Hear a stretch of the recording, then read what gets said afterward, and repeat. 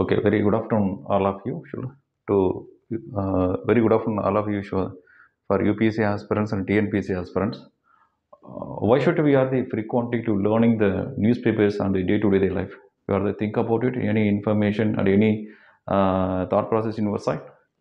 In case of any one of the to the person to the where started the any kinds of the to the competitive examinations like the UPSC and the DNPCs and the state public service commissions in any classification or any categories of the examination we are we were you are started or you were started uh, you are the mandate through the uh, any any one of the to the newspaper at the national wide events at the statewide events at the global wide events the none of the peoples are not go through the any kinds of the newspaper in the uh, when was to the introduced or launched the mobility right uh, the mobile telephones to the replacement of the to the mobile phones we are not directly go to the any kinds of the to the newspapers or directly also.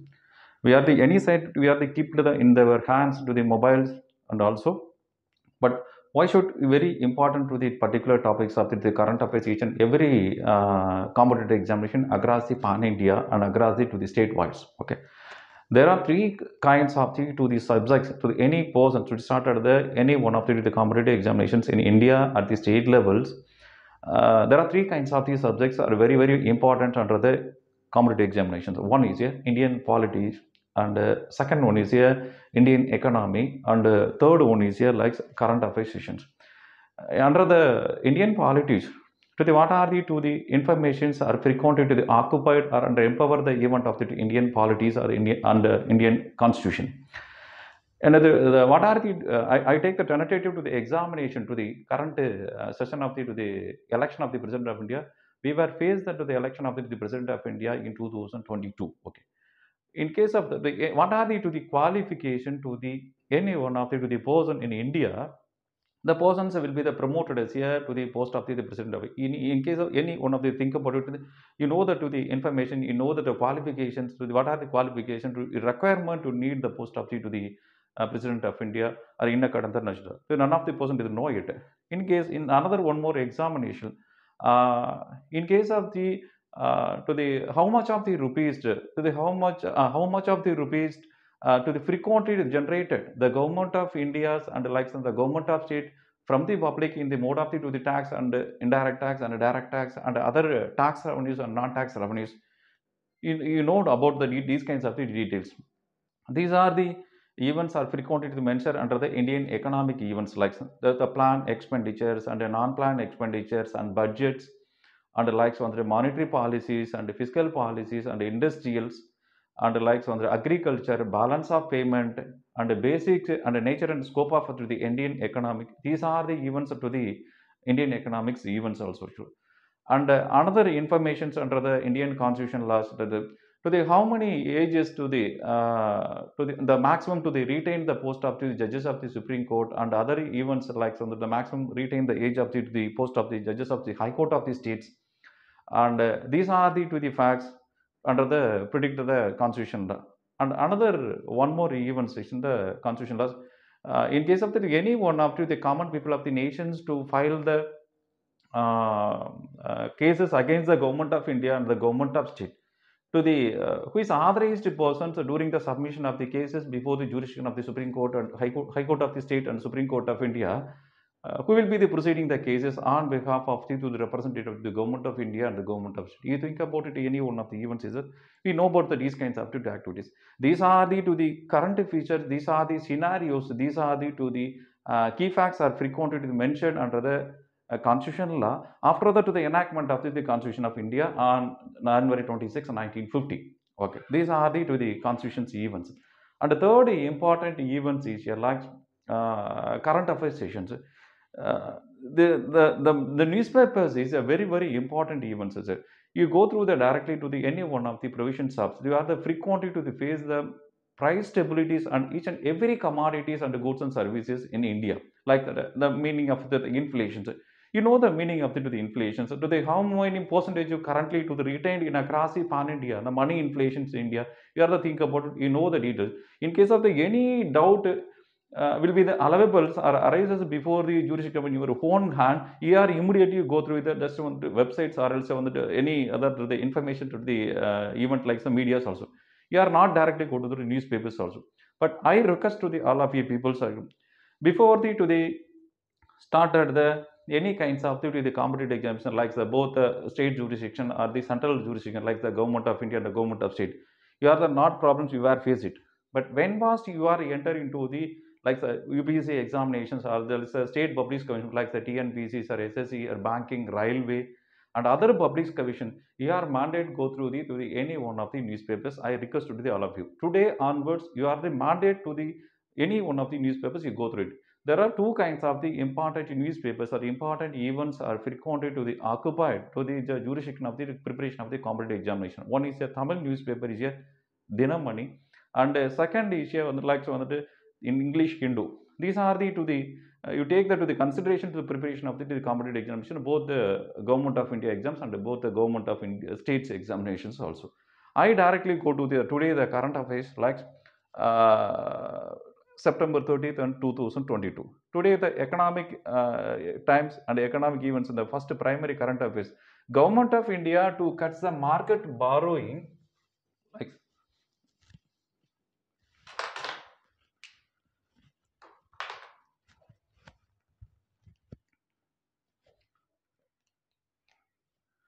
government cuts this uh, market borrowing target for FY 2023 by uh, 10,000 crore is likes. Market borrowing means is a open market borrowing means is a.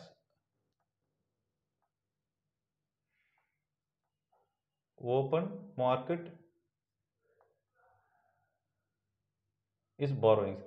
அதனுடைய பொருள் என்னன்னு பார்த்தீங்கன்னா பொதுவெளியில் வந்துட்டு பார்த்தீங்கன்னா மத்திய அரசாங்கம் வந்து வந்து கடன் வாங்கக்கூடிய வந்து இலக்கு அப்படின்னு சொல்கிறோம் this government of India cuts market borrowing to the target for the FY two thousand twenty three by ten K crore ten thousand crore here is a FY means is a financial year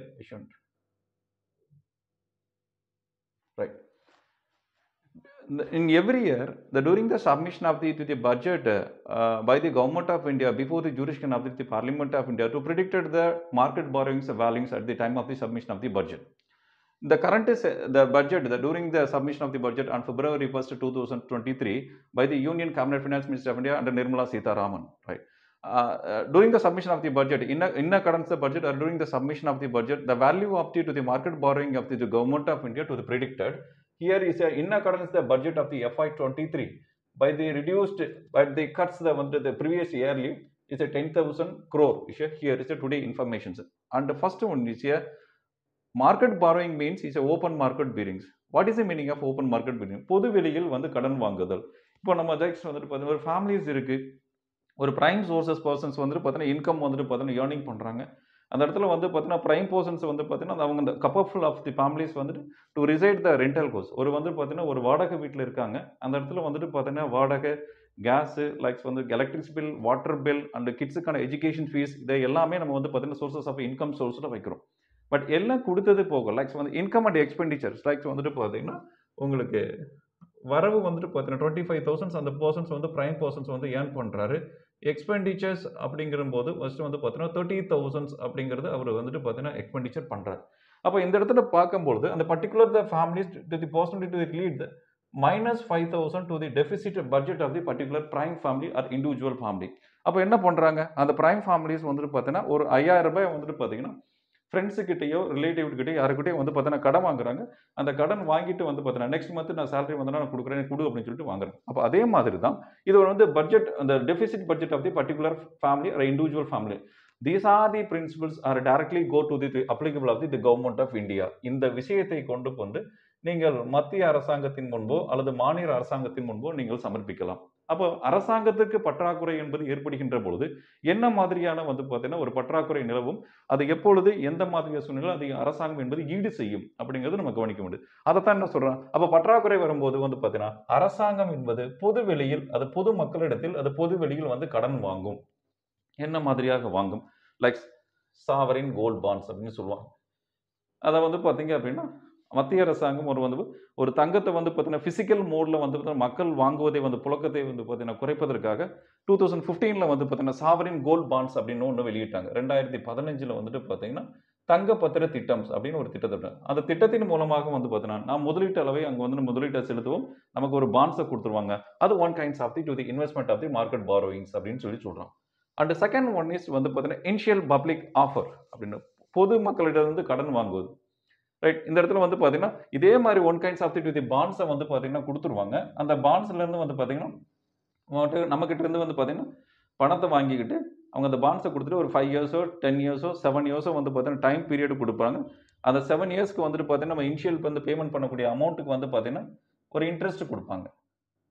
அதுதான் வந்து பார்த்தீங்கன்னா நம்மக்கிட்ட இருந்து பொதுமக்களிலிருந்து வாங்கக்கூடிய கடன் அப்படின்னு சொல்றோம். அப்போ after the completion of those who are to the interest to invest in the any kinds of the bonds before the jurisdiction of the government of India the people will get the money the principal amount plus rate of interest on the principal amount after the completion of the entire the tenure period like even those the seven இயர்ஸாக இருக்கலாம் ஆறு years வந்து பார்த்தீங்கன்னா ten years whatever it is maybe with mention to the period depend upon the policies அந்த பாலிசிஸில் எப்படி mention பண்ணியிருக்காங்க அதுக்கு தகுந்த மாதிரி மாறும் என்பது நம்ம வந்து சொல்லலாம். அப்போ அது வந்து பார்த்தீங்கன்னா இனிஷியல் பப்ளிக் ஆஃபர் அப்படின்னு சொல்லி சொல்கிறோம் and third one is other savings வந்துட்டு பார்த்தீங்கன்னா பாண்ட்ஸ் அப்படின்னு சொல்கிறோம் இந்த மூன்றின் மூலமாக பொதுமக்களிடமிருந்து வந்து பார்த்தீங்கன்னா அரசாங்கம் என்பது வந்து பார்த்தீங்கன்னா கடன் வாங்கக்கூடிய முறைகள் அப்படின்னு சொல்லி சொல்கிறான் இதை வந்து கடன் வாங்கக்கூடிய அளவை வந்து பார்த்தீங்கன்னா மத்திய அரசாங்கம் இன்றைய தேதியில் வந்து பார்த்தீங்கன்னா பத்தாயிரம் கோடி ரூபாய் என்பது வந்து பார்த்தீங்கன்னா கலி குறைவாக வந்து வாங்குவதற்கு இலக்கை நிர்ணயித்துள்ளது அப்படிங்கிறது இன்னைக்கு எக்கனாமிக் டைம்ஸில் போட்டுக்கூடிய இன்ஃபர்மேஷன் அப்படின்னு சொல்கிறோம் அண்ட் செகண்ட் ஒன்ஸ் அதே கீ டர்ம்ஸ் இந்த government had picked gross market borrowing is through the dates to the securities for the FY twenty three in the budget at fourteen thousand fourteen point nine five lakhs crore already we had discussed. This is like during the submission of the budget the union government of india to predicted the targeted credit ratio. எவ்வளவு இந்த அந்த நிதியாண்டில் likes இந்த targeted credit ratio means like இந்த வருஷத்தில் April மாதம் ஒன்றாம் தேதி இரண்டாயிரத்தி இரண்டில் தொடங்கி மார்ச் மாதம் முப்பத்தி ஒன்று இரண்டாயிரத்தி இருபத்தி மூன்று வரை ஓராண்டு நிதி ஆண்டு காலத்தில் மத்திய அரசாங்கம் சமர்ப்பிக்கப்பட்ட ஆண்டு வரவு செலவு அறிக்கையின்படி எந்த அளவுக்கு கடனை பெற்றுக்கொள்ளலாம் என்பது அறுதியிடப்பட்டது அந்த மதிப்பு வந்து பதினாலு பாயிண்ட் ஒன்பது அஞ்சு லட்சம் கோடியாக மதிப்பீடு செய்யப்பட்டது. எப்போ? As on February two thousand twenty two likes as on February 1, 2022. Right. After the submission of the, during the submission of the budget, these are the predicted value 14.95 lakhs crore. In certain tenure, after the switch operation on January 28, 2022, it has been to reduced from the rupees 14.95 lakhs crore to the 14.31 lakhs crore. அது வந்து பார்த்தீங்கன்னா முந்தைய நிலையிலிருந்து வந்து பார்த்தீங்கன்னா பதினாலு point மூன்று ஒன்று லட்சம் கோடியாக குறைத்தது. மத்திய அரசாங்கம் குறைத்தது. எப்பொழுது? ஜனவரி மாதம் இருபத்தெட்டாம் தேதி ரெண்டாயிரத்தி இருபத்தி ரெண்டு குறைத்தது. தற்பொழுது இன்றைய நிலையில் அசாந்தி டேட் வந்து பார்த்தீங்கன்னா அந்த கடன் வாங்கக்கூடிய அளவு என்பது வந்து பார்த்தீங்கன்னா பதினாலு பாயிண்ட் ரெண்டு ஒன்று லட்சம் கோடியாக குறைக்கப்பட்டுள்ளது இது வந்து இன்றைய ஒரு கரண்ட் அஃபேர்ஸ் டேட்டில் அது கொடுத்துருக்கான் next point The government of India has budgeted a fiscal deficit of the 6.4 percentage of the GDP in FY 2023. You know the field issue, fiscal deficit. What is the meaning of fiscal deficits? அப்படின்னு தமிழில் வந்து நிதி பற்றாக்குறைன்னு சொல்கிறோம் அதாவது நம்ம ஏற்கனவே பார்த்துறோம் deficit budget அப்படின்னு ஒன்று பார்த்தோம் இங்கே டெபிசிட் பட்ஜெட் பற்றாக்குறை வரவு செலவு அறிக்கை அப்படின்னு சொல்கிறோம் டெபிசிட் பட்ஜெட்னா பற்றாக்குறை வரவு செலவை அறிக்கைன்னு சொல்கிறோம் அந்த பற்றாக்குறை வரவு செலவை அறிக்கை இருக்கின்ற பொழுது நாம் அந்த பற்றாக்குறையான நிதியை தேவை எவ்வாறு ஆக்குகிறோம் அப்படிங்கிறது தான் ஃபிஸ்கல் டெபிசிட்னு சொல்கிறான் நிதி ஆக்கம் பற்றாக்குறை நிதி ஆக்கம் அப்படின்னு தமிழில் சொல்கிறோம் the government of India has budgeted fiscal deficit பற்றாக்குறை நிதி ஆகும் அப்படிங்கிறது நிதி ஆக்கம் அப்படின்னு சொல்கிறோம் of six point four percentage of GDP in FY two thousand twenty three தனக்கு பற்றாக்குறையாக இருக்கக்கூடிய இந்த கடனினுடைய அளவை மொத்த உள்நாட்டு உற்பத்தியில் எத்தனை சதவீதமாக அந்த அரசாங்கம் அல்லது மத்திய அரசாங்கம் கடனை பெற இருக்கிறது அப்படின்னு பார்த்தீங்கன்னா ஆறு பாயிண்ட் நாலு சதவீதமாக கடனை பெறுவதற்கு அந்த அரசாங்கம் என்பது மதிப்பீடு செய்யப்பட்டுள்ளது அப்படிங்கிறது டுடே டேட்டாவாக சொல்லலாம் the government had has budgeted a fiscal deficit of 6.4 percentage of GDP in FY 2023 in accordance the budget sub, in accordance with the submission of the budget on February 1st 2022 before the jurisdiction of the Parliament of India in accordance the constitution law அப்படின்னு சொல்லலாம் அப்போ what is the meaning of fiscal deficit பற்றாக்குறை நிதி ஆக்கம்னு சொல்கிறோம் அது எவ்வாறு உருவாக்குகிறது அப்படின்னு அதுக்கான டெஃபினேஷனை ஃபஸ்ட்டு பார்க்கலாம். அது எப்படி மீட் அவுட் பண்ணுறான்னு பார்க்கலாம் one is fiscal deficits main what the governments earn and it expenditure அரசாங்கம் என்ன வரவுகளை ஈட்டுகின்றது மற்றும் என்ன செலவுகளை வந்து பார்த்தீங்கன்னா செய்கின்றது அப்படிங்கிறதுக்கான வந்துட்டு ஒரு வரையறை தான் வந்து பார்த்தீங்கன்னா பற்றாக்குறை நிதி ஆக்கம் என்று நாம் வரையறுத்து உள்ளோம் அப்படின்னு வரையறுக்கப்பட்டுள்ளது அப்படின்னு சொல்லி சொல்லலாம். அதுக்கு கீழே ஒரு ஃபார்முலா கொடுத்துருக்கான் just like fiscal deficits means is revenue deficits plus capital receipts minus expenditure வருவாய் வரவினங்கள் ப்ளஸ் வந்து மூலதன வரவினங்கள் மைனஸ் வந்து செலவினத்தை கழிக்கணும். You know the meanings revenue receipts means வந்து பார்த்தீங்கன்னா tax revenue and non tax revenue அப்படின்னு சொல்லலாம். வருவாய் வரி ஆதாரங்கள் அல்லது வருவாய் வந்துட்டு பார்த்தீங்கன்னா மூல ஆதாரங்கள்னு சொல்கிறோம் அப்போ வரி சார்ந்த வருவாய் வரி சாராத வருவாய் அப்படின்னு நம்ம சொல்கிறோம் அப்போ இந்த இடத்துல tax revenues means direct tax revenue and indirect tax revenue these are the tax revenue non tax revenues means you know the field section சப்சி likes வந்துட்டு சப்சிடி மானியம் and second one is advances and third one is வந்துட்டு escheats பறிமுதல் செய்யப்பட்ட சொத்து and ஃபர்ஃபியூச்சர் பறிமுதல் செய்யப்பட்ட பொருள். Fifth one is a gift six one is a rent and seventh one is a extra மானியம் முன்பணம் பறிமுதல் செய்யப்பட்ட சொத்து பறிமுதல் செய்யப்பட்ட பொருள் மற்றும் கொடை மற்றும் வாடகை மற்றும் இன்ன பிற அப்படின்னு சொல்லலாம் நான் டேக்ஸ் ரெவன்யூஸ் சப்சிடின்னு சொல்கிறோம் what is meaning of subsidy மானியம்னு சொல்லி சொல்கிறோம் The total corpus value of the goods and services to the sum of the values will be the compensated once or frequently by the government of India, the government of state. The compensation value of the goods and services also known as a repeatedly and familiarly and famously also known as a subsidy ன்னு சொல்றோம் ஒரு பொருளினுடைய மொத்த உள்ளடக்கத்தில் அல்லது ஒரு பண்டத்தினுடைய மொத்த உள்ளடக்கத்தில் அல்லது ஒரு சேவையினுடைய மொத்த உள்ளடக்கத்தில் வந்து ஒரு குறிப்பிட்ட அளவிலான ஒரு குறிப்பிட்ட மதிப்பிலான அந்த பண்டம் மற்றும் பணியினுடைய மதிப்பில் வந்துட்டு அரசாங்கம் ஒரு முறையோ அல்லது பல முறையோ வந்து ஈடு செய்தால் அந்த ஈடு செய்யப்படக்கூடிய தொகையை வந்துட்டு பார்த்தீங்கன்னா ஒரு சிறப்பு வாய்ந்த சொற்களாக மானியம் என்று நாம் கூறுகிறோம் அப்படின்னு சொல்லலாம். செகண்ட் ஒன் இஸ் வந்து பார்த்தீங்கன்னா அட்வான்சஸ் அப்படின்னு சொல்கிறோம் முன்பணம். உலகளாவிய வந்துட்டு பார்த்தீங்கன்னா நாடுகளிலிருந்து நம்ம அரசாங்கம் என்பது வந்து பார்த்தீங்கன்னா கடனை பெறுகிறது. உலகளாவிய நிதி நிறுவனங்கள் என்பது நம்ம அரசாங்கம் என்பது கடனை பெறுகிறது. ரைட் இது எதற்காக? நம்முடைய அரசாங்கத்தை வழிநடத்துவதற்காக அல்லது அரசாங்கத்தை செயல்படுத்துவதற்காக அல்லது அரசாங்கத்தின் மூலமாக பல்வேறு திட்டங்களை வந்து பார்த்தீங்கன்னா மக்களுக்கு செயல்படுத்துவதற்காக. லைக் இந்த எக்ஸாம்பிள்ஸ் இந்த ஸ்வச் பாரத் திட்டம் அப்படின்னு இருக்கு. தூய்மை இந்தியா திட்டம் like and likes Beti Bachao பேட்டி படாவோ சொல்லலாம். லைக்ஸ் அந்த Mahatma Gandhi national rural employment guarantee ப்ரோக்ராம்ஸை சொல்லலாம். மகாத்மா காந்தி தேசிய ஊரக வேலைவாய்ப்பு திட்டம் செல்வ மகள் சேமிப்பு திட்டம் இந்த மாதிரி திட்டங்கள் என்பது மத்திய அரசாங்கத்தினால் அல்ல அரசாங்கத்தினால் செயல்படுத்தப்பட்டு கொண்டிருக்கு. அந்த திட்டங்களை செயல்படுத்துவதற்கு உலகளாவிய வந்து ஒரு நிதி உதவி வந்து கிடைப்பதாக மதிப்பீடு செய்யப்பட்டால் அந்த நிதியின் ஒரு பகுதியாக வந்துட்டு முதல் தவணையில் அது இரு தவணையில் வழங்கப்பட்டால் அது முன்பணமாக கருத்தில் கொள்ளப்படுகிறது அப்படின்னு நம்ம சொல்லலாம். தேர்ட் ஒன் இஸ் எஸ்இட்ஸ் அப்படின்னு சொல்றோம். பறிமுதல் செய்யப்பட்ட சொத்து. ஒரு பர்சன் இருக்காரு லோன் வாங்குறாரு லைக்ஸ் வந்து பார்த்தீங்கன்னா இந்த base on the property the pledge on the property before the jurisdiction of any one of the public sector commercial bank private sector commercial bank the persons are not property to pay the likes வந்துட்டு EMI to the concern bank of to the public sector the private sector the the bank will be the take over the entire the properties on the basis of the mortgage loan. Like வந்து like pledge loan அப்படின்னு சொல்றோம். அப்போ அந்த இடத்துல loans வந்து வாங்கிய கடனை வந்து நம்ம முறையாக கட்டலை. லைக்ஸ் வந்து அந்த அசலும் வட்டியும் முறையாக கட்டவில்லை என்றால் ஒரு குறிப்பிட்ட கால இடைவெளியில் வந்து பார்த்தோன்னா நம்ம அடமானத்தின் பேரில் பட்டு வாங்கப்பட்ட அந்த சொத்தை வந்து அரச அரசாங்கத்தினுடைய பொதுத்துறை வங்கியோ அல்லது தனியார் துறை வங்கிக்கோ வந்து பார்த்தீங்கன்னா மீட்டெடுத்து கொள்ளும் அல்லது எடுத்துக்கொள்ளும் அப்படின்னு சொல்கிறான் அதுக்கு தான் வந்து பார்த்தீங்கன்னா பறிமுதல் செய்யப்பட்ட சொல் அல்லது அட்டாச்மெண்ட் ஆஃப் ப்ராப்பர்ட்டின்னு சொல்லுவோம் அதுக்கான எக்ஸாக்ட் வேர்டை வந்து அட்டாச்மெண்ட் ஆஃப் ப்ராப்பர்ட்டி அப்படின்னு சொல்லலாம் எஸ்சீட்ஸ் அப்படின்னு சொல்கிறோம் and fourth one is forfeiture அப்படின்னு சொல்கிறோம் ஃபர் ஃபியூச்சர்னாலும் எப்படி வந்து நீங்கள் இப்போ இதுக்கு சொத்துக்கு எப்படி சொன்னீங்களோ அதாவது சொத்தின் பேரில் வந்துட்டு கடனை வாங்கி கொண்டு எப்படி நம்ம கட்டாமல் இருந்துருமோ அதே மாதிரி வந்து பார்த்தீங்கன்னா ஒரு டூ வீலர் லோன் வாங்குறோம் ஒரு ஃபோர் வீலர் லோன் வாங்குறோம் லைக்ஸ் வந்து இந்த மாதிரி வந்துட்டு பார்த்தீங்கன்னா ஏதோ ஒரு பொருளை வந்து லைக்ஸ் ஃப்ரிட்ஜ் வாங்குறோம் வாஷிங் மிஷின் வாங்குறோம் கிரைண்டர் வாங்குறோம் இல்லை கமர்ஷியல் கூட்ஸ் வாங்குறோம் லைக்ஸ் வந்துட்டு இந்த மாதிரி வந்துட்டு பார்த்தீங்கன்னா ஒரு கூட்ஸாக நம்ம வந்து பர்ச்சேஸ் பண்ணும்போது நம்ம ப்ராப்பராக வந்துட்டு லோன்ஸ் வந்து பேமெண்ட் பண்ணலை அப்படின்னா அந்த சட்டன் ஸ்டேஜில் வந்து அந்த பைக்கையோ காரையோ வந்து பார்த்தீங்கன்னா சம்மந்தப்பட்ட பேங்க் வந்து அட்டாச்மெண்ட் பண்ணிடுவான். இதுதான் வந்து பார்த்தீங்கன்னா பறிமுதல் செய்யப்பட்ட பொருள் அப்படின்னு சொல்கிறான் ஃபார் ஃபியூச்சர் அப்படின்னு சொல்கிறான் and fifth one is a gift அப்படின்னு சொல்கிறான் கொடை. லைக்ஸ் வந்துட்டு பார்த்தீங்கன்னா அரசாங்கத்துக்கு கொடை கொடுக்கலாம். அது விருப்பப்பட்டவர்கள். இதை வந்து பார்த்தீங்கன்னா எந்த ஒரு வற்புறுத்தலும் இல்லாது விருப்பப்பட்டவர்களும் வந்து பார்த்தீங்கன்னா அந்த கொடையை வழங்கலாம் அப்படின்னு சொல்லி சொல்கிறான் அது வந்து கிஃப்ட் அப்படிங்கிறது.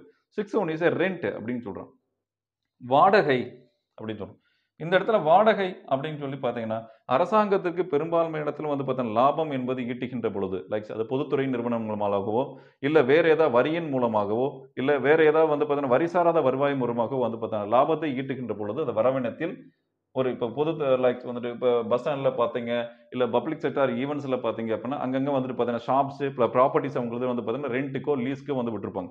அந்த ரெண்ட்டுக்கு லீஸ்க்கு விடக்கூடிய வந்துட்டு ப்ராப்பர்ட்டிஸ்லேருந்து source of the source of the revenue to frequently generated by the government of India அந்த government of state these are the events these are the to the key facts are frequently cover under the event of the ரெண்ட்னு சொல்லலாம். அப்போ அந்த சொத்துக்களில் இருந்து யாரோ ஒரு வாடகைக்கு விடுறாங்க லைக்ஸ் வந்துட்டு பார்த்தீங்கன்னா அதை வந்துட்டு பார்த்தீங்கன்னா நம்ம ரெண்ட்டுங்க அப்படிங்கிற பேரில் எடுத்துக்கலாம். இது நம்ம லைவாக வந்துட்டு பார்த்தீங்கன்னா பேப்பரில் நம்ம படிச்சிருந்தோம் அப்படின்னா நமக்கு தெரியும். லைக்ஸ் வந்துட்டு கொரோனா சமயத்தில் எல்லாருமே நம்ம வந்து பார்த்தீங்கன்னா வீட்டில் வந்து பார்த்தீங்கன்னா இருந்தோம். அந்த சமயத்தில் வந்துட்டு பார்த்தீங்கன்னா எந்த ஒரு ஷாப்ஸும் எந்த ஒரு பிஸ்னஸ் ஆக்டிவிட்டீஸும் நடக்கலை. அப்போ வந்துட்டு பார்த்தீங்க அப்படின்னா ஆஃப்டர் த வந்து பார்த்தீங்கன்னா நம்ம கொரோனா சமயத்தில் வந்து பார்த்தீங்கன்னா நம்ம ஷாப்ஸ் இந்த வந்து வந்துட்டு எல்லாமே ஓப்பன் பண்ணணும். பிஸ்னஸ் ஆக்டிவிட்டீஸ் நார்மல் ஈவெண்ட்ஸ்க்கு இருந்தது. அந்த சமயத்தில் வந்துட்டு பார்த்தீங்கன்னா கவர்மெண்ட் ப்ராப்பர்ட்டியில் வந்து ரெண்டல் பர்சன்ஸ் எல்லாமே யாருமே ப்ராப்பராக ரெண்ட் பே பண்ணல. சில வந்துட்டு பார்த்தீங்கன்னா வந்துட்டு ஷாப்ஸ் எல்லாத்தையுமே வந்து பார்த்தீங்கன்னா கவர்மெண்ட் ஆஃபீஸஸ் வந்து பார்த்தீங்கன்னா டேக் ஓவர் பண்ணாங்க அப்படிங்கிறது பேப்பரில் நம்ம படித்த ஒரு விஷயமாக இருக்கும். பேப்பர் படிச்சிருந்தீங்கன்னா அந்த ஈவெண்ட்ஸ் அப்படிங்கிறது கண்டிப்பாக நமக்கு தெரியக்கூடிய ஒரு விஷயமா இருக்கும். இதெல்லாம் வந்து நான் டாக்ஸ் ரெவன்யூஸ்னு சொல்கிறேன் அப்போ ரெவன்யூ ரெசிப்ட்ஸ் அப்படின்னா டாக்ஸ் ரெவன்யூஸ் இருக்கும் நான் டாக்ஸ் ரெவன்யூஸ் இருக்கும் அண்டு ப்ளஸ் கேபிட்டல் ரெசிப்ட்ஸ் இருக்கும். எக்ஸ்பெண்டிச்சர்ஸ் அப்படின்னா பிளான் எக்ஸ்பெண்டிச்சர் நான் பிளான் எக்ஸ்பெண்டிச்சர்னு இருக்கும். இதுதான் வந்துட்டு பார்த்தீங்கன்னா ஃபிசிக்கல் டெஃபிசிட்ஸை கால்குலேட் பண்ணக்கூடிய ஒரு ஃபார்முலாவாக வந்துட்டு நம்ம ஃபார்முலேட் பண்ணிகிட்டு இருக்கோம். அதர் ஈவெண்ட்ஸ் வந்து இந்த சென்டென்ஸில் பாருங்க. இப்போ ஃபிசிக்கல் டெபிசிட் நம்ம மீனிங் தெரிஞ்சிச்சு பர்சன்டேஜுக்கு நமக்கு மீனிங் தெரிஞ்சிச்சு. ஜிடிபின்னா என்ன அப்படின்னு தெரியும். மொத்த உள்நாட்டு உற்பத்தின்னு சொல்கிறான் அதுக்கு நான் இங்கே ஒரு டெஃபினேஷன் கொடுத்துருக்கேன். தட்ஸ் லைக் த டோட்டல் ஜிடிபினா கிராஸ் டொமஸ்டிக் ப்ராடக்ட் அப்படின்னு சொல்கிறான் இதனுடைய வேல்யூஸ் வந்து பார்த்தீங்கன்னா கிராஸ் டொமஸ்டிக் ப்ராடக்ட் அப்படின்னு சொல்கிறோம் தமிழில் வந்து மொத்த உள்நாட்டு உற்பத்தி அப்படின்னு சொல்லி சொல்கிறோம் like that what is the meaning of the gross domestic product the total value of the goods and service in produce the geographical area of our nation during a year அப்படின்னு நம்ம சொல்கிறோம் இந்த இடத்துல வந்து பார்த்தீங்கன்னா total வேல்யூஸ்னா value of the money of the goods and services அப்படின்னு சொல்கிறோம் value of money and the goods and services பண்டங்கள் மற்றும் பணிகளினால மதி பணத்தினுடைய மதிப்பு. பண்டங்கள் மற்றும் பணிகளின் மீதான பணத்தின் மதிப்பு அப்படின்னு எக்ஸாக்டாக சொல்லலாம். பண்டங்கள் மற்றும் பணிகளின் மீதான பணத்தின் மதிப்பு. அதுதான் value of the money and the goods and சர்வீஸ்ன்னு சொல்றோம். And second one is within a produce geographical area of our nation சொல்கிறோம் அப்போ of our நேஷன்னா we are consideration we are the living under the jurisdiction of the like our nation the name of the nation is India அப்படின்னு நம்ம எடுத்துக்கலாம். அப்போ இந்த இடத்துல nation அப்படிங்கிறது நமக்கு மீனிங் தெரிஞ்சிருச்சு. டூரிங் ஏ இயர் அப்படின்னா like here is a financial இயர்னு சொல்கிறோம் financial year will be the started on April first subsequent year March thirty first அப்படின்னு சொல்கிறோம் அந்த பிட்வீன் த கேப் ஒரு வருஷம் பன்னிரெண்டு மாத காலத்தை வந்து ஒரு நிதியாண்டாக சொல்கிறோம் பட் இந்த இடத்துல உங்களுக்கு டோட்டல் வேல்யூ ஆஃப் தி வந்துட்டு பார்த்தீங்கன்னா டோட்டல் வேல்யூக்கு மீனிங் தெரியும். ஜாகிரபிக்கல் ஏரியா அப்படிங்கிறதுக்கு மீனிங் தெரியும். டூரிங் ஏ இயர் அப்படிங்கிறதுக்கு மீனிங் தெரியும். ஃபினான்ஷியல் இயருக்கு மீனிங் தெரியும். ப்ரொடியூஸ்டு அப்படிங்கிறதுக்கு நமக்கு மீனிங் தெரியும். இந்த இடத்துல கூட்ஸ் அண்ட் சர்வீஸை நம்ம ஸ்கிப் பண்ணியிருக்கோம் in no the meanings what is the meaning of வந்து பார்த்தீங்கன்னா கூட்ஸ் அண்ட் சர்வீசஸ் உலகத்தில் இருக்கக்கூடிய எல்லா விஷயத்தையும் ஒரு மூன்று வந்து பார்த்தீங்கன்னா கூறுகளுக்கு இடையே நம்ம கொண்டு வரணும் across the world weights there are three kinds of the the the events are frequently under the one pillar uh, அப்படின்னு சொல்லணும் the name of the to the events are name of the to the criteria name of the ingredients one is is a other is a service and third platform is a money அப்படின்னு சொல்லலாம். உலகத்தில் இருக்கக்கூடிய எந்த ஒரு விஷயமாக இருந்தாலும் இந்த மூன்று கூறுகளுக்கிடையே உலகளாவிய அடக்கில் வந்து பார்த்தா நம்ம அடக்கிக் கொள்ள முடியும். அல்லது உள்ளடக்கத்தில் கொண்டு வர முடியும். ஒன்று பண்டங்கள். இரண்டு சேவைகள். மூன்றாவது மணி ஒரு ஒரு ஒரு பிளேட் ஒரு பிளாட்ஃபார்ம்ஸில் ஒரு பிளேட்டில் வந்துட்டு பார்த்தீங்கன்னா நீங்கள் கூட்ஸ் அண்ட் சர்வீஸ் வச்சிருக்கீங்க. அதர் பிளேட்டில் அதர் பிளாட்ஃபார்ம்ஸில் வந்துட்டு பார்த்தீங்க அப்படின்னா நீங்கள் மணி வச்சிருக்கீங்க அப்படின்னா இது ரெண்டும் நீங்கள் கூட்ஸ் அண்ட் சர்வீஸை வந்து பார்த்தீங்கன்னா ரீப்ளேஸ்மெண்ட் பண்ணுறீங்க அப்படின்னா மணியில் வந்து பார்த்தீங்கன்னா ஃப்ளெக்ஷேஷன் இருக்கும். மணியில் ரிஃப்ளேஷன் வந்து பார்த்தீங்கன்னா நீங்கள் ரிஃப்ளெக்ஷன்ஸ் பண்ணுறீங்க இல்லை ஃப்ளெக்ஷேஷன்ஸ் பண்ணுறீங்க அப்படின்னா கூட்ஸ் அண்ட் சர்வீஸில் வந்து பார்த்தீங்கன்னா fluctuations these are the parallelly to the mutually to the ups and downs இதைத்தான் வந்து கூட்ஸ் அண்ட் சர்வீஸ்னு சொல்கிறோம் அப்போ இந்த மூணு விஷயங்கள் அப்படிங்கிறது கூட்ஸு சர்வீஸும் மணி இது மூன்றும் இல்லாமல் உலகத்தில் எந்த ஒரு நடவடிக்கையிலும் வந்து செயல்பட இயலாது அப்படிங்கிறது ஒரு நிதர்சனமான உண்மையாக நம்ம பார்க்க முடியும். அப்போ கூட்ஸுக்கும் சர்வீஸ்க்கும் என்ன வித்தியாசம் அப்படின்னு சொல்லுவோம்.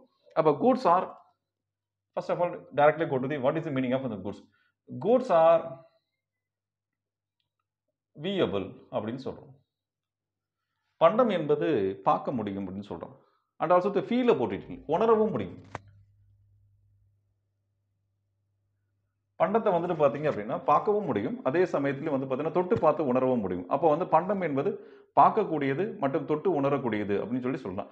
செகண்ட் ஈவெண்ட்ஸ் வந்துட்டு பார்த்தீங்கன்னா goods the goods are measured on the basis of quality and quantity பண்டத்தை வந்துட்டு பார்த்தீங்க அப்படின்னா எண்ணிக்கையின் அடிப்படையிலும் மதிப்பின் அடிப்படையிலும் வந்துட்டு பார்த்தீங்கன்னா நம்மளால் வந்துட்டு மதிப்பீடு செய்யப்படும். எண்ணிக்கையின் அடிப்படையிலும் தரத்தின் அடிப்படையிலும் வந்து மதிப்பீடு செய்ய முடியும். அதுதான் அந்த goods are to the measured and the basis of the quality தரத்தின் அடிப்படையிலும் குவான்டிட்டி எண்ணிக்கையின் அடிப்படையும் இப்போ நம்ம பார்க்குறோம் ஒரு மார்க்கெட்டில் போயிட்டு வந்துட்டு பார்த்தீங்கன்னா ஒரு டேப் ரெக்கார்டர் வாங்குறோம். லட்சம் லைக்ஸ் வந்துட்டு பார்த்தீங்கன்னா பத்தாயிரம் ரூபாய்க்கும் டேப் ரெக்கார்டர் இருக்கு ஒன்றரை லட்சம் ரூபாய்க்கும் டேப் ரெக்கார்டர் இருக்கு. அப்போ ரெண்டுமே டேப் ரெக்கார்டர் தான் ரெண்டுமே படிக்கும். பட் வந்து பார்த்தீங்கன்னா ஒன் லேக் ஃபிஃப்டி தௌசண்ட் நம்ம வாங்கக்கூடியது வந்து பார்த்தீங்கன்னா number of the qualities a one and quantities a one also அப்போ இங்கே டென் தௌசண்ட்க்கு வாங்கக்கூடியது வந்து பார்த்தீங்கன்னா படிக்கும் எவ்வளோ நாளைக்கு வந்து அந்த ரேடியோ வந்து பாடியும் அந்த படிக்கும் அப்படிங்கிறது நமக்கு தெரியாது. பட் குவாலிட்டிஸ் ஏ ஒன் அந்த இடத்துல இந்த differ is one lakh one point five lakhs is வந்து tape recorder and ten thousand is one lakh ten lakh ten thousand is tape recorder is entirely different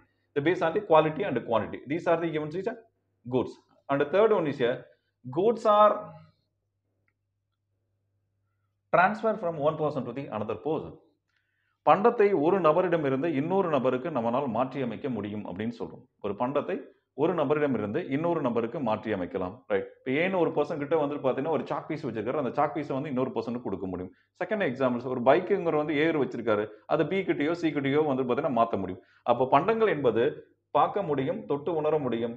second one is எண்ணிக்கையின் அடிப்படையிலும் தரத்தின் அடிப்படையிலும் மதிப்பீடு செய்யப்படும். மூன்றாவது பண்டம் என்பது ஒரு நபரிடமிருந்து இன்னொரு நபருக்கு மாற்றி அமைக்கப்படும் these are the to the ingredients are frequent occupied under the event of the commodities are the goods also அப்படின்னு சொல்றோம். And second one is is a services அப்படின்னு சொல்றோம். சேவைகள் அப்படின்னு சொல்றோம். இந்த இடத்துல சேவைகள் அப்படிங்கிறது definition services are not viable are not visible அப்படின்னு சொல்றோம். சேவைகளை வந்துட்டு பார்த்தீங்கன்னா பார்க்க இயலாது. அதே சமயத்தில் வந்துட்டு பார்த்தீங்கன்னா அதை உணர மட்டும்தான் முடியும். அப்படின்னு சொல்லிட்டு feel about it only it services are not visible not வியபிள்னு சொல்கிறோம் லைக் வந்து பார்த்தீங்கன்னா இப்போ லைக் சினிமா பார்க்குறோம் லைக்ஸ் வந்து பார்த்தீங்கன்னா ஒரு கிளாஸில் வந்து ஒரு டீச்சர்ஸ் வந்து பார்த்தீங்கன்னா கிளாஸ் எடுத்துக்கிட்டு இருக்காரு. அப்புறம் நம்ம அந்த இடத்துல உட்காந்து நோட்ஸ் எடுத்துகிட்டு இருக்கோம். இப்போ அந்த இடத்துல வந்து பார்த்தீங்கன்னா அந்த nothing the trans during the to the class session during the cinema theatre session none of the the transaction to between the two kinds of people like somebody A and B அந்த டீச்சருக்கும் அந்த ஸ்டூடெண்ட்ஸ்க்கும் வந்து பார்த்தீங்கன்னா எந்த ஒரு வந்து பார்த்தீங்கன்னா பண்டங்கள் பரிமாற்றம் என்பது இந்த வகுப்பறையிலோ இல்லை வெளியிலோ என்பது நடைபெறுவது கிடையாது. அப்போ அந்த இடத்துல என்ன நடக்குது? ஸ்டூடெண்ட்ஸ் உட்காந்துருக்காங்க டீச்சிங் ஃபேக்கல்டிஸ் வந்து பார்த்தீங்கன்னா டீச் பண்ணுறாங்க to the grasping the to the information from the faculties during the sessions அப்படின்னு தான் நம்ம சொல்ல முடியும். அப்போது அந்த இடத்துல வந்து பார்த்தீங்கன்னா பண்டம் என்பதோ ஒரு பரிமாற்றம் என்பது ஆசிரியருக்கும் மாணவருக்கும் என்பது வந்து நடைபெறுவது கிடையாது. ஒரு சேவையை மட்டும் வந்து பார்த்தா அந்த மாணவர் ஆசிரியர் வந்து பெற்றுக்கொண்டிருக்கிறார் அப்படிங்கிறது நிதர்சனமான உண்மையாக இருக்கும். டிஸ் கோர்ஸ் அண்ட் சர்வீஸ் சர்வீசஸ்ன்னு சொல்கிறோம் And the third one is here. Goods and services are not predicted quantity and also to the measure the quality right? Likes வந்துட்டு பார்த்தீங்கன்னா இப்போ டீச் பண்ணிட்டு இருக்காங்க லைக்ஸ் வந்துட்டு பார்த்தீங்கன்னா ஒரு டீச்சர்ஸ் வந்துட்டு ஒரு ஃபேக்கல்ட்டி ஒரு டியூட்டர்ஸ் வந்து டீச் பண்ணிட்டு இருக்காங்க கிளாஸ்ல நம்ம உட்காந்துருக்கோம் ஆக்சுவலாக we are frequently grasping the information from the faculties also during the sessions அப்படின்னு நம்ம சொல்கிறோம் இன்னைக்கு ஒரு ஸ்டூடெண்ட்ஸ் வந்து ஆப்சன்டீஸ் ஆயிருக்காரு. ஜஸ்ட் லைக் அவர் வந்து ஸ்டூடெண்ட்ஸ் வந்தவர்கிட்ட ஃபோன் பண்ணி கேட்குறாரு கிளாஸ் எப்படி போச்சு இன்னைக்கு வந்து பார்த்தீங்கன்னா இன்னைக்கு இத்தனை கிலோ அளவுக்கு வந்து பார்த்தீங்கன்னா கிளாஸ் நடக்கு வந்து கொடுத்தாரு அப்படின்னு சொல்ல மாட்டோம். Class is a very good more informative more grasping sir I learning the something information for the did the classes like the polity and economics and current whatever the any events அச்சும் நான் ரொம்ப இன்ஃபர்மேட்டிவ்ஸாக நான் learn பண்ணிக்கிட்டேன். அதிகமான information எனக்கு கிடைச்சது அப்படின்னு தான் சொல்லுவேன். அது எவ்வளோ ப்ரிடிக்ட் த வேல்யூஸ் அப்படின்னு பண்ண நான் இத்தனை கிலோவுக்கு வந்து நடத்தினார் அப்படின்னு நம்ம வந்துட்டு அந்த பர்சன் வந்து இந்த சொல்ல மாட்டார். But class is a more comfort ரொம்ப தூக்கம் இல்லை ரொம்ப ட்ரௌசிக்காக இல்லை ரொம்ப எந்தூஸ்டிக்காக இருந்தது. இன்ஃபர்மேட்டிவ்ஸாக அதிகம் நான் லேர்ன் பண்ணிக்கிட்டேன் அப்படிங்கிற மாதிரி சொல்லுவார். அப்போ services are not measured on the basis of the quantity and also to the measure the quality அப்படின்னு சொல்கிறோம் அப்போ இந்த இடத்துல இந்த total value of the goods and services within produced geographical area of our nation during a year அப்படின்னு சொல்கிறோம் அப்போ perfectly நமக்கு இந்த சென்டென்ஸுக்கான வந்து மீனிங் தெரியும். ஒவ்வொரு வேர்டுக்கான மீனிங் தெரியும். அப்போ ஈஸியாக கரண்ட் அஃபேர்ஸ் அந்த ஃபர்ஸ்ட் ஈவெண்ட்டை நம்மளால ஃபாலோ பண்ணிக்கிற முடியும் அப்படின்னு நம்ம சொல்லி சொல்கிறோம் அடுத்து அதே இதில் the government of India is facing a sustainable increase in the food and fertilizer subsidy bill which has been to the pegged at 3.12 crore for twenty 2023 அப்படின்னு சொல்றாங்க மத்திய அரசாங்கம் உணவு மற்றும் வந்து பார்த்தீங்கன்னா உரங்களுக்கான மானியத்தை ரைட் வந்துடும் மூன்று பாயிண்ட் ஒன்று ரெண்டு கோடி லட்சம் கோடியாக ஆண்டு ரெண்டாயிரத்தி இருபத்தி ரெண்டு மற்றும் இருபத்தி மூணாம் நிதி ஆண்டுக்கான வந்து பார்த்தீங்கன்னா ஆண்டு வரவு செலவு அறிக்கையில் மூன்று பாயிண்ட் ஒன்று ரெண்டு லட்சம் கோடியாக மதிப்பீடு செய்துள்ளது அப்படின்னு சொல்லிட்டு இன்னைக்கு ப்ரிடிக்ட் பண்ணி போட்டிருக்கான். அப்போ டோட்டல் அரசாங்கம் வாங்கக்கூடிய கடன் என்பது முன்னாடி பார்த்தோம். தற்பொழுது அரசாங்கம் வந்து உணவுக்காகவும் வந்து உரத்திற்காகவும் வந்து பார்த்தீங்கன்னா என்ன அளவுக்கு மானியம் வழங்குகிறது என்பதையும் பார்க்கிறோம். அப்போ இதுதான் இன்னைக்கான ஒரு எக்கனாமிக் ஈவெண்ட்ஸில் கொடுத்துருக்கக்கூடிய ஒரு கரண்ட் அஃபேர்ஸ் டேட்டா அதில். ஒரு விஷயத்தை நீங்கள் வந்து படிக்கிறீங்க அப்படின்னா ஜஸ்ட் லைக்ஸ் வந்துட்டு பார்த்தீங்கன்னா பிளாங்காக வந்து மெமரி பண்ணி தயவுசெய்து படிக்க வேண்டாம்.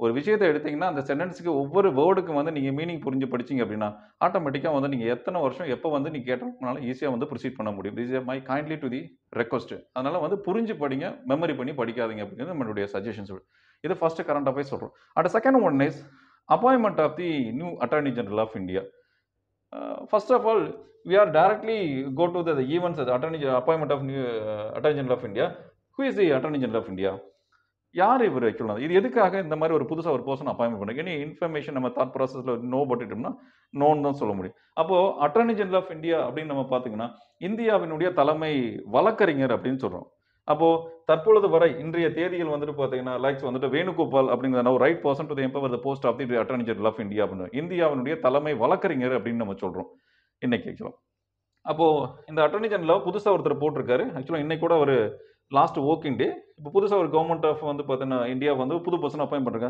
the name of the person is வந்துட்டு வெங்கட ரமணி அப்படிங்கிற ஒரு பர்சனை வந்து பார்த்தீங்கன்னா கவர்மெண்ட் ஆஃப் இந்தியா அப்பாயின்மெண்ட் பண்ணுறாங்க இவர் யார் அப்படின்னு சொல்லி பார்த்தீங்கன்னா is a highest legal officer இந்த article seventy six of the constitution of India says at the office of the attorney attorney general of India அப்படின்னு சொல்கிறோம் சரி இது பொதுவாக வந்துட்டு ஒரு ஹையஸ்ட் லீகல் ஆஃபீஸர்னு சொல்கிறோம் இஸ் அட்வொகேட் இவர் வந்து ஒரு வழக்கறிஞர் அப்படின்னு சொல்லலாம்.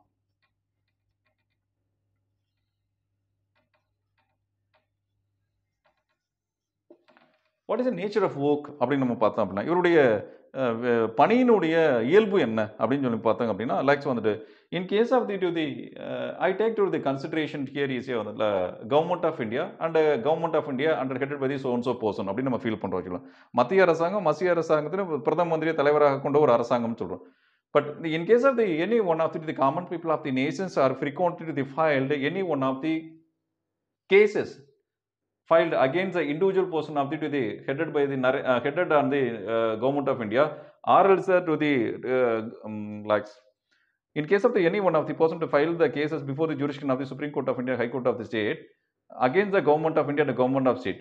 During the submission of the to the petitions on behalf of the to the uh, government of India he or she will be proceeding the cases. The name of the person is the attorney general of India ஒரு மத்திய அரசாங்கத்தின் மீது பல்வேறு விதமான வந்து வழக்குகள் என்பது தொடுக்கப்படுகின்றது.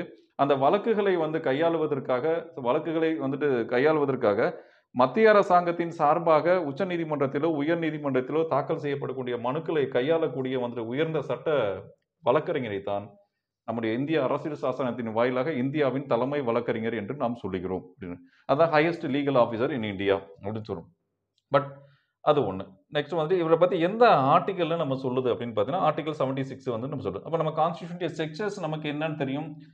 ஒரு ப்ரியாம்பிள்ஸ் இருக்குது ஃபோர் சிக்ஸ்டி ஃபோர் வந்துட்டு பார்த்தீங்கன்னா ஆர்டிகல்ஸ் இருக்குது அண்டு டுவெல் ஷெட்யூல்ஸ் இருக்கு. அண்டு டுவெண்ட்டி ஃபைவ் பார்ட்ஸ் இருக்குது These are the like the current structure of the to the Constitution of India. Before the to the cancellation of the Article 370 of the Constitution of India, the number of the articles Uh, uh, was under the constitutional law like that 465 when was to the abolished uh, article 370 of the constitution of india? The time onwards the number of the to the articles are under the 440 65 to 464 these are the current structure of the constitution of india. Out of the to the current structure of the constitution of india article 76 of the constitution of india so we see that the office of the attorney general of india. These are the highest legal officer. So the what are the, the backgrounds? The current right person is a Ramani, is a the new appointed as a new Attorney General of India after the completion of the Venugopal tenure on September 20 September 30th and 2022. So what are the, to the backgrounds under the categories of the Venkataramani is the first point. He belongs to the Union Territory of Pondicherry. இவர் புதுச்சேரி ஒரு union பிரதேசத்தை சார்ந்தவர் he acted is a member of the Venkatachaliah committee Venkatachaliah committee அப்படின்னு சொல்லும் but இவர் வந்து ஏற்கனவே வந்துட்டு வெங்கடச்சலையா கமிட்டி அப்படிங்கிறது வந்து பார்த்தீங்கன்னா ஒரு குழு என்பது அமைக்கப்பட்டது. அந்த குழுவினுடைய வந்துட்டு பார்த்தீங்கன்னா எதுக்காக உருவாக்கப்பட்டது அப்படின்னு பண்ணால் it is a constitutional revenue committee அப்படின்னு சொல்லுவோம் ரெவ்யூ கமிட்டி அப்படின்னு சொல்கிறோம் அரசியல் சாசனம் குறித்து வந்து பார்த்தீங்கன்னா மறு ஆய்வு செய்வதற்காக அதில் கூராய்வு செய்வதற்காக வெங்கடச்சலையா கமிட்டி என்பது உருவாக்கப்பட்டது.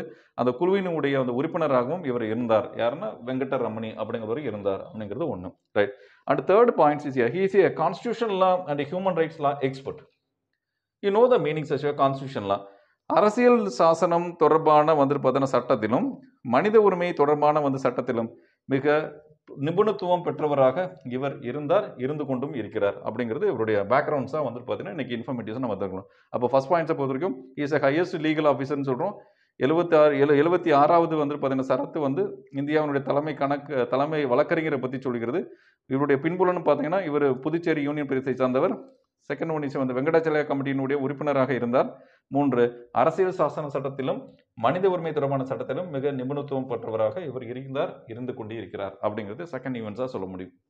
And third point is a third current affairs all women entitle to the save the legal abortion அப்படின்னு ஒரு ஜட்ஜ்மெண்ட்ஸ் இருக்குது Supreme Court of India yesterday, September 29, one of the to the benchmark judgment to the historical to the events of the Supreme Court of India. Like, what is in the important benchmark judgment before the jurisdiction of the Supreme Court of India in the constitutional law? We are directly go to the, the particular event. The all women entitled to the safe and legal abortion. அனைத்து மகளிரும் வந்து பார்த்தீங்கன்னா பாதுகாப்ப சட்டமுறையான கருக்கலைப்புக்கு வந்து பார்த்தீங்கன்னா தகுதி படைத்தவர்கள்.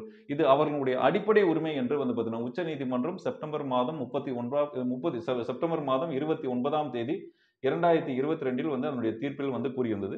அதனுடைய மூணாவது current அஃபேர்ஸை நம்ம இன்னைக்கு பார்க்குறோம். Likes all women entitle to the safe and legal abortion to the supreme court all India report September thirty two thousand twenty two கீழே denying the safe abortion to the single women with in twenty four weeks of the pregnancies கருவுற்றது வந்து இருபத்தி நாலு வாரத்திற்குள் வந்து பார்த்தீங்கன்னா அனைத்து விதமான மகளிரும் பாதுகாப்பை சட் பாதுகாப்பாக சட்டத்திற்கு உட்பட்டு தன் கருவை கலைத்துக் கொள்ளலாம் அப்படிங்கிறது அந்த நீதிமன்றத்தினுடைய தீர்ப்பாக வழங்கியுள்ளது இந்த தீர்ப்பை வழங்குகின்ற உச்ச நீதிமன்றத்தின் அரசியல் சாசனத்தினுடைய அமர்வு யாரார் இருந்தால் D Y Chandrachud and JB Pardiwala and third person person AS A.S. The three three are are the post of the bench of bench supreme the Supreme of India to verdict deliver on the certain kinds of the cases? On September 29, 2022 அப்படின்னு சொல்லலாம்.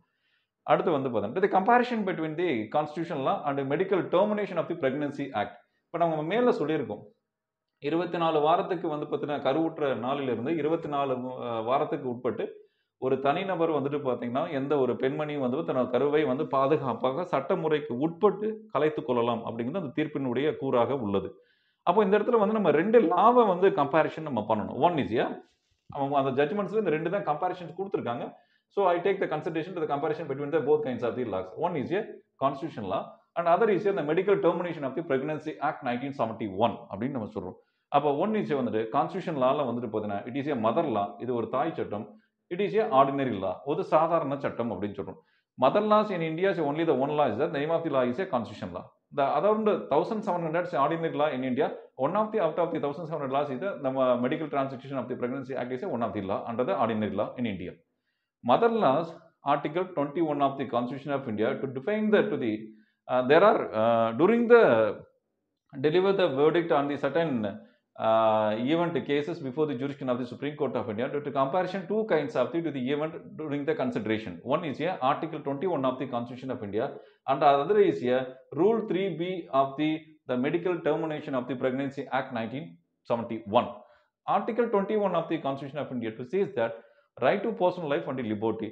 சரத்து இருபத்தி ஒன்று எதை பற்றி சொல்லி சொல்கிறதா தனி மனித வாழ்வு மற்றும் தனி மனித சுதந்திரத்தை பற்றி சொல்கிறது. அப்போது இந்த இடத்துல தனி மனிதன் அப்படின்னா எந்த ஒரு தனி ஒரு ஒரு பெண்மணியும் வந்து பார்த்தீங்கன்னா தன்னுடைய சட்டத்திற்கு உட்பட்டு தன்னுடைய சொந்த சுய விருப்பத்திற்கு உட்பட்டு தன்னுடைய உடம்பின் நலனை அல்லது நலனை தன்னுடைய சுய உடல் நலனை கருத்தில் கொண்டு இருபத்தி நாலு வாரத்திற்குள் வந்து மிக பாதுகாப்பாக மற்றும் சட்டமுறைப்படி வந்து பார்த்தீங்கன்னா கலைத்து கொள்ளலாம் அப்படிங்கிறது இந்த சரத்தை அடிப்படையாக கொண்டு உச்சநீதிமன்றம் செப்டம்பர் மாதம் இருபத்தி ஒன்பதாம் தேதி வழங்கிய தீர்ப்பில் கூறியுள்ளது. சரி தீர்ப்பு கூறியாச்சு. யார் என்னன்னு சொல்லி பார்த்தோம். எவ்வளோ டைம் பீரியட்னு நம்ம பார்த்துருக்கோம். என்னைக்கு ஜட்ஜ்மெண்ட்ஸ் கொடுத்தாங்கன்னு நம்ம பார்த்துட்டோம். பட் அதே சமயத்தில் அந்த கருக்கலைப்புக்கு எந்த பெண்ணை எந்த வகையைச் சேர்ந்த பெண்மணிகள் தகுதி படைத்தவர்கள் அப்படின்னு பார்த்தீங்கன்னா திருமணமாகாத பெண்களாக இருந்தாலும் சரி விடோவாக இருந்தாலும் சரி இல்லை பாலியல் வன்புணர்ச்சிக்கு உட்பட்ட வந்து பார்த்தீங்கன்னா பெண்மணியாக இருந்தாலும் சரி இல்லை பிற நபர்கள் யாராக இருந்தாலும் சரி அந்த நபர்கள் இருபத்தி நாலு வாரத்துக்கு உட்பட்ட வந்து கருவுட்டது வந்து இருபத்தி நாலு வாரத்துக்கு உட்பட்ட பெண்மணிகள் பாதுகாப்பாக தன் உடல்நலனை கருத்தில் கொண்டு கருவை கலத்துக் கொள்ளலாம் அப்படிங்கிற பேரில் வந்து அந்த நீதிமன்ற தீர்ப்பு என்பது வழங்கியுள்ளது. இது தேர்ட் கரண்ட் அஃபேர்ஸாக ஈவெண்ட்ஸாக சொல்லலாம். அப்போது ஆக்ட் தெரியும் பெஞ்சு தெரியும் எத்தனை வாரம் தெரியும் நமக்கு? லைக்ஸ் வந்துட்டு பார்த்தீங்கன்னா எந்த டேட்டில் கொடுத்தாங்கன்னு தெரியும். எந்த ஆக்டை கம்பேரிஷன் பண்ணி அதை ஈவெண்ட்டு பண்ணாங்கன்னு நமக்கு ரெண்டு ஆக்டை சொல்லணும் next fourth current affairs retail inflations in India அப்படின்னு சொல்கிறோம் இந்தியாவில் வந்துட்டு பார்த்தீங்கன்னா சில்லறை பணவீக்கத்தினுடைய மதிப்பு இன்னைக்கு என்னவாக இருக்கிறது அப்படின்னு ஒரு டேட்டா கொடுத்துருக்காங்க. அந்த டேட்டாவில் வந்து பார்த்தீங்கன்னா ரெண்டு ஈவெண்ட்ஸ் கொடுத்துருக்காங்க. ஒன்று வந்து பார்த்தீங்கன்னா ஜூலை டுவெண்ட்டி செகண்ட் வந்து பார்த்தீங்கன்னா சிக்ஸ் பாயிண்ட் செவன் பர்சன்டேஜ் அப்படின்னு ஒரு டேட்டா கொடுத்துருக்காங்க. அண்டு ஆகஸ்ட் டுவெண்ட்டி டூவில் வந்து பார்த்தீங்கன்னா செவன் பாயிண்ட் சிக்ஸ் ஜஸ்ட் ரிவர்ஸில் six point seven seven point six அப்படிங்கிற ஒரு ரிவர்ஸில் கொடுத்து கொடுத்துருக்காங்க. அதில் வந்துட்டு பார்த்தீங்கன்னா கீழே ஒரு டேட்டாஸ் நம்ம கொடுத்துருக்கோம்.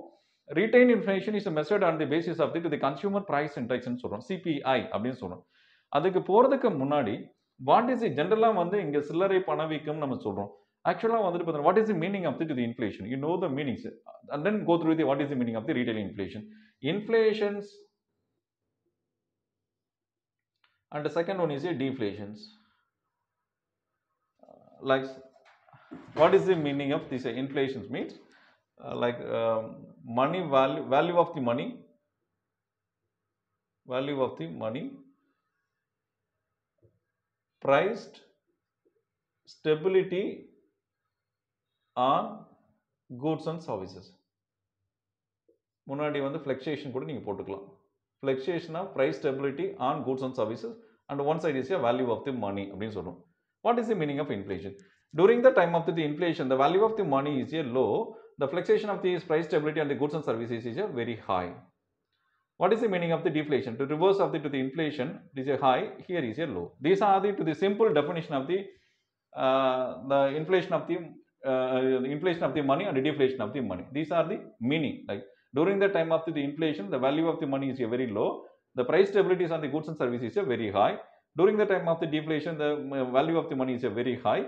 Like uh, is a one one one is a right is a deflation is means Uh, value of the money is a very high and uh, it is like uh, good price stability and the goods and services are very low. These are the event of the meaning of the inflation and the meaning of the deflations அப்படின்னு சொல்லுவோம் இப்போ பணவீக்கம் பண வாட்டம் என்பதற்கு நமக்கு ஒரு பொருள் என்பது பண வீக்கம் என்பது பணத்தினுடைய மதிப்பு என்பது குறைவாக இருக்கும். எப்பொழுதென்றால் பணவீக்க காலத்தில் பணத்தினுடைய மதிப்பு என்பது குறைவாக இருக்கும். பண்டங்கள் மற்றும் பணையினுடைய மதிப்பு என்பது வந்து பார்த்தீங்கன்னா அதிகமாக இருக்கும் உயர்வாக இருக்கும். லைக் வந்துட்டு பார்த்தீங்கன்னா இப்போ ஒரு எக்ஸாம்பிள் சொன்னால் உங்களுக்கு புரியும் ஜஸ்ட் ஒரு ஏன் ஒரு பர்சன்ஸ் இருக்காரு ஒரு வந்துட்டு பார்த்தீங்கன்னா நூறுரூபா எடுத்துட்டு கடைக்கு போறாரு. அந்த இடத்துல வந்துட்டு பார்த்தீங்கன்னா போயிட்டு வந்துட்டு பார்த்தீங்கன்னா ஒரு கிலோ துவரம் பருப்பு வாங்குறாரு ஜஸ்ட் லைக் ஒரு கிலோ துவரம் பருப்பு வாங்கிட்டு வந்துட்டு பார்த்தீங்கன்னா ஐம்பது வந்துட்டு பார்த்தீங்கன்னா நூறுரூபாய் வாங்கிட்டு அந்த துவரம் பருப்பு கொடுத்துறாரு. அந்த ஏங்குற பர்சன் அந்த கடைக்காரர்கிட்ட கேட்குறாரு என்னங்க வந்துட்டு பார்த்தீங்கன்னா நூறுரூபா கொடுத்தீங்க நூறுரூபா வந்துட்டு இப்போ ஒரு கிலோ பருப்பு கொடுத்தீங்க பேலன்ஸ் கொடுக்கல அப்படின்னா பணம் இப்போ வந்து நூறுரூபா தான் ஒரு கிலோ பருப்பு அப்படின்னு சொல்லிட்டு பேலன்ஸ் எது கிடையாதுன்னு அவர் சொல்லிடுறாரு. அப்போ அந்த இடத்துல ஒரு கிலோ பருப்பாக இருந்தாலும் நூறுரூபாயினுடைய மதிப்பு என்பது குறைவாக இருக்குது. நம்மளை பொறுத்த வரைக்கும் நூறுரூபா என்பது பெரிதாக இருக்கலாம். அந்த இடத்துல நூறு பணத்தினுடைய மதிப்பு என்பது குறைவு. அந்த பண்டத்தினுடைய பருப்பினுடைய விலை என்பது அதிகமாக இருக்கும். This is a price stability on the goods and services hi அப்படின்னு நம்ம சொல்கிறோம் இதே இந்த டீஃப்ளேஷன்ஸ்ல அதே ஒரு ஹண்ட்ரட் ருபீஸ் எடுத்துட்டு அந்த கடைக்கும் அந்த வேறு கடைக்கே போயிட்டு அந்த பர்சன்ஸ் வந்து பார்த்தீங்கன்னா வந்து ஒரு கிலோ பருப்பு வாங்குறாரு. அந்த இடத்துல வந்துட்டு பார்த்தீங்கன்னா ஒரு கிலோ பருப்பையும் கொடுத்துட்டு வந்து பார்த்தீங்கன்னா பேலன்ஸ் வந்து பார்த்தீங்கன்னா ஒரு செவன்ட்டி ருபீஸ் கொடுக்குறாரு அந்த கடைக்காரர். அப்போ வந்துட்டு பார்த்தீங்கன்னா அவர் கேட்குறாரு என்னங்க? வந்துட்டு அன்னைக்கு ஒரு கிலோ பருப்பு வாங்கிட்டு வந்துட்டு பார்த்தீங்கன்னா வந்துட்டு பேலன்ஸ் எதுவும் நூறுரூபா கொடுத்தேன் பேலன்ஸ் கிடையாதுன்னு சொன்னீங்க. இன்னைக்கு எழுபது ரூபாய் வந்துட்டு எடுத்துக்கிட்டு முப்பது ரூபா என்கிட்ட பேலன்ஸ் கொடுக்குறீங்க. மணியினுடைய வேல்யூஸ் வந்துட்டு பார்த்தீங்க அப்படின்னா பண்டங்கள் மற்றும் பணியினுடைய மதிப்பு என்பது வந்து பார்த்தீங்கன்னா குறைவாக இருக்கிறது. பணத்தினுடைய மதிப்பு என்பது அதிகமாக இருக்கிறது அப்படின்னு சொல்கிறோம் these are the simple definitions under the inflation and deflation causes அது கிரைட்டீரியா அப்படின்னு நம்ம சொல்ல முடியும். இப்போ டைரெக்டாக நம்ம மீனிங் தெரியும்.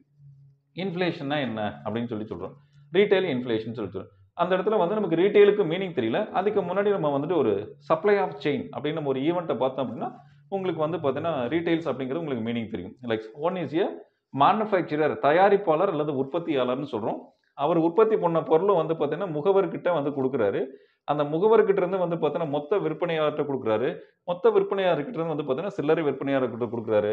சில்லறை விற்பனையாளர்கிட்ட இருந்து வந்து பார்த்தீங்கன்னா கன்சியூமர்கிட்ட கொடுக்குறாரு.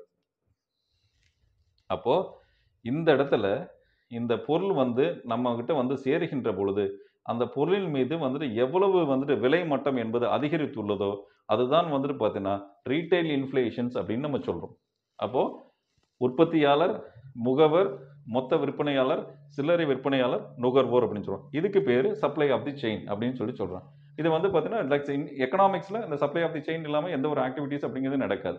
இப்போ இந்த இடத்துல பார்த்துக்கலாம். இப்போ ரீட்டைல் உங்களுக்கு மீனிங் தெரியும். இன்ஃப்ளேஷனா மீனிங் தெரியும். அதை தான் இங்கே டேட்டாவாக கொடுத்துருக்காங்க. On July two thousand twenty டூவில் சிக்ஸ் பாயிண்ட் செவன் பர்சன்டேஜ் அப்படின்னு கொடுத்துருக்காங்க. ஆன் ஆகஸ்ட் டுவெண்ட்டி டூவில் செவன் பாயிண்ட் சிக்ஸ் பர்சன்டேஜ் அப்படின்னு கொடுத்துருக்காங்க.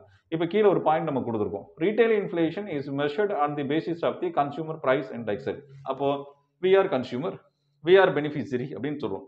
நம்ம போய் கடையில் ஒரு பொருள் வாங்குறோம் இல்லை கடையில் போயிட்டு வந்துட்டு ஒரு டீ சாப்பிட்றோம் இல்லை கடையில் போயிட்டு வந்து பார்த்தீங்கன்னா ஏதோ purchase பண்ணுறப்பன்னா we are the consumer we are the beneficiary அப்படின்னு சொல்கிறோம் அதனால தான் என்ன சொல்கிறான் சிபிஐ அப்படின்னு சொல்கிறான் கன்சியூமர் ப்ரைஸ் இன்டெக்ஸ் அப்படின்னு சொல்கிறான் அப்போ retail inflation is measured on the basis of the consumer price index அப்படின்னு சொல்லி சொல்கிறோம் அதுக்கு கீழே நம்ம ஒரு இது ஏரோ மார்க் போட்டிருக்கோம்.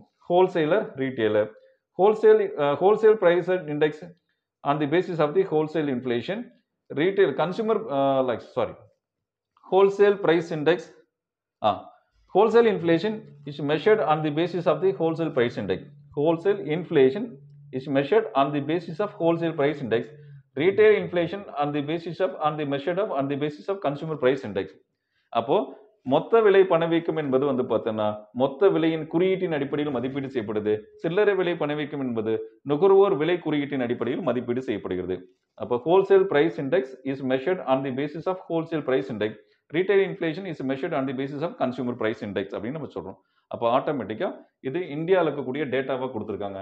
அதுக்கப்புறம் இந்தியாவில் இருக்கக்கூடிய சில ஸ்டேட் ஸ்டேட்ஸ்க்கு வந்து நம்ம கொடுத்துருக்காங்க. அது எப்போன்னு பார்த்தீங்கன்னா lakhs on August two thousand twenty two கொடுத்துருக்காங்க. குஜராத்தில் லெவன் பாயிண்ட் ஃபைவும் ராஜஸ்தானில் டென் பாயிண்ட் ஃபோரும் வெஸ்ட் பெங்காலில் டென் பாயிண்ட் த்ரீயும் உத்தரப்பிரதேசில் நைன் பாயிண்ட் டூவும் மகாராஷ்டிரா உத்தரகாண்டில் எயிட் பாயிண்ட் ஃபைவும் தமிழ்நாட்டில் ஃபைவ் பாயிண்ட் த்ரீ பர்சன்டேஜ் அப்படின்னு ஒரு டேட்டா அன்னைக்கு கொடுத்துருக்காங்க. These are the inflation data regarding the money like inflation and deflations events and last current affairs வந்து பார்த்தீங்கன்னா one is S Muralidhar will be the empowered as a chief justice of high court of Chennai in accordance with recommendation of collegium system அப்படின்னு சொல்கிறோம் அப்போது முரளிதரன் முரளிதர் என்பவர் சென்னை உயர்நீதிமன்றத்தினுடைய தலைமை நீதிபதியாக பதவி ஏற்க உள்ளார் வில் பி தி எம்பவர்ட் அப்படின்னு சொல்லுங்கள் but in accordance with recommendation of the collegium system அப்படின்னு சொல்கிறோம் கொலீஜியம் சிஸ்டம் அப்படின்னு who is the collegium system அப்படின்னு பார்க்குறோம். It is a five member body of the jurisdiction of supreme court of India உச்ச நீதிமன்றத்தில் ஒரு மூத்த நீதிபதிகள் ஐந்து பேர் கொண்ட ஒரு அமைப்பை தான் வந்து பார்த்தீங்கன்னா கொலீஜியம் அமைப்பு என்று சொல்லுகிறோம். Like senior most justice of the the persons are frequently empower under the jurisdiction of the collegium system அப்படின்னு சொல்கிறோம் அப்போ இந்த கரண்ட் இந்த composition of the the collegium system is a one plus four equal to five அப்போ உயர்நீதிமன்றத்தினுடைய தலைமை நீதிபதியாக முரளிதரை collegium அமைப்பினுடைய பரிந்துரை அடிப்படையில் நியமனம் செய்ய இருக்கிறார் அப்படின்னு நம்ம சொல்கிறோம் அந்த கொலீஜியம் அமைப்பினுடைய மொத்த உறுப்பினர்கள் ஒன்று பிளஸ் நாலு கூட்டு ஐந்தாக இருப்பார்கள். அதே சமயத்தில் இந்த கொலிஜியம் அமைப்பினுடைய தலைவராக வந்து பார்த்தீங்கன்னா ஒரு தலைவர் இருப்பார். உறுப்பினர்கள் வந்துட்டு நான்கு பேர் இருப்பார்கள். அந்த தலைவர் எப்பொழுதும் வந்து பார்த்தீங்கன்னா உச்ச நீதிமன்றத்தின் தற்பொழுதைய தலைமை நீதிபதியாக எவர் ஒருவர் இருக்கிறாரோ அவர் தான் இருப்பார் அப்படின்னு. இது எப்படி சொல்லலாம்னு பார்த்தீங்கன்னா who is the empower the post of the to the chief justice of India that person in addition to the ex officio chairperson of the collegium system in India அப்படின்னு நம்ம சொல்லும் now the right person is a Uday Umesh Lalit the now empower the post of the CJI in India அப்படின்னு சொல்கிறோம் தற்பொழுது வந்து இந்தியாவினுடைய தலைமை நீதிபதியாக இருப்பவர் உதய் உமேஷ் லலித் அப்படின்னு நம்ம சொல்கிறோம் அவர் தான் வந்து பார்த்தீங்கன்னா கொலிஜியம் அமைப்பினுடைய வந்து தற்போதைய தலைவராக இருக்கிறார் அப்படின்னு சொல்றோம். அடுத்து வந்து இந்த அமைப்பில் இருக்கக்கூடிய உறுப்பினர்கள் யாராருன்னு பார்த்தீங்க அப்படின்னா like Chandrachud Sanjay Kishan Kaul is Abdul Nazeer and K M Joseph அப்படின்னு சொல்லும். இந்த நாலு பேரும் வந்துட்டு பார்த்தீங்கன்னா கொலிஜியம் அமைப்பில் வந்துட்டு பார்த்தீங்கன்னா உங்களுக்கு உறுப்பினராக இருக்கிறாங்க. இதுதான் one plus four equal to five அப்படின்னு இந்த கொலிஜியம் அமைப்புடைய நேச்சர் ஆஃப் ஒர்க் என்ன அப்படின்னு பார்த்தீங்க அப்படின்னா it is a judged electing body to the justice of high court of India and justice of வந்துட்டு high court of the Indian entire states அப்படின்னு சொல்கிறேன் இந்தியாவில் வந்துட்டு பார்த்தீங்கன்னா அப்படின்னா உங்களுக்கு இருபத்தி ஐந்து உயர் நீதிமன்றங்கள் என்பது உள்ளது. ஒரு உயர் நீதிமன்றம் ஒரு ஒரு உச்ச நீதிமன்றம் என்பது. ஹை ஹெச்சின்னா வந்து ஹை கோர்ட்ஸு எஸ்சி அப்படின்னு பார்த்தீங்க அப்படின்னா லைக்ஸ் வந்து சுப்ரீம் கோர்ட் அப்படின்னு சொல்கிறோம் ரைட் அப்போ வந்துட்டு பார்த்தீங்கன்னா இந்தியாவில் வந்துட்டு இருபத்தி ஐந்து உயர் நீதிமன்றங்கள் இருக்கின ஒரு உச்ச நீதிமன்றம் இருக்கு. இந்த உச்ச நீதிமன்றம் உயர் நீதிமன்றங்களை நீதிபதிகளை தேர்வு செய்கின்ற அமைப்புக்கு பேர் தான் கொலீஜியம் அமைப்பு என்று நாம் வரையறுத்து உள்ளோம் அப்படின்னு நம்ம சொல்லலாம். அப்போது நமக்கு it is a five member பாடியும் தெரியும். யார் தலைவர்னு நமக்கு தெரியும். எத்தனை பேர் இப்போ அவங்க இருக்காங்கன்னு நமக்கு தெரியும். இப்போ அவங்க என்ன பண்ணிட்டு இருக்காங்க அப்படின்னா இவங்களை ஜட்ஜஸ் எலெக்ட் பண்ணியிருக்காங்க. கூடிய விரைவில் வந்துட்டு இந்த உயர் நீதிமன்றத்தில் வந்து தலைமை நீதியாக பதவி வைக்க போறாரு அப்படின்னு இருக்கும். சரி இப்போ இவர் எங்கே எம்பவரிங்லாம் இருக்காரு அப்படின்னு பார்த்தீங்கன்னா Muralidhar is empowering as a chief justice of high court of ஒடிஷாவில் இவர் வந்து தலைமை நீதிபதியாக இருக்காரு. இவர் வந்து சென்னை உயர் நீதிமன்றத்தினுடைய நீதிபதியாக வந்துட்டு பதவி பிரமாணம் செய்வதற்காக வந்து பார்த்தீங்கன்னா இந்த கொலிஜியம் அமைப்பு என்பது பரிந்துரை செய்துள்ளது அப்படின்னு. அப்போ கூடிய விரைவில் சென்னை உயர்நீதிமன்றத்துக்கு புதிய நீதிபதி வர இருக்கிறார் அப்படிங்கிறது நமக்கு ஒரு இன்ஃபர்மேட்டிவாக அந்த இன்றைக்கி தெரிஞ்சுக்கலாம். இதுதான் இன்னைக்குடைய கரண்ட் அஃபேர்ஸாக நீங்கள் அதை ஃபாலோ பண்ணிக்கலாம். சில டிஃபிகல்ட்டிஸை வந்துட்டு பார்த்தீங்க அப்படின்னா உங்களுக்கு நீங்கள் எதாவது ஃபீல் பண்ணீங்க அப்படின்னா உங்களுடைய கைரி உங்களுடைய கொயரிஸை உங்களுடைய கமாண்ட்ஸை உங்களுடைய இன்ஃபர்மேஷன்ஸை உங்களுடைய எக்ஸ்பீரியன்ஸை வந்துட்டு ஷேர் பண்ணுங்கள் ஃபர்தர் வந்துட்டு பார்த்தீங்கன்னா வீடியோவில் உங்களுக்கு வந்து பார்த்தீங்கன்னா அதுக்கான வந்துட்டு சொல்யூஷன்ஸ் அந்த ரெக்டிஃபை வந்து நம்ம ப்ராப்பராக பண்ணுவோம். It's thank you